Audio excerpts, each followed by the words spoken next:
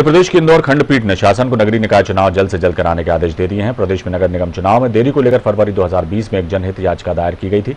इसी की सुनवाई के दौरान इंदौर खंडपीठ ने शासन को अविलंब चुनाव करवाने को कहा सुनवाई के दौरान शासन ने अपना जवाब पेश करते हुए कहा कि वो चुनाव कराने के लिए तैयार है। तीन मार्च को शासन की ओर से मतदाता सूची का प्रकाशन कर दिया जाएगा।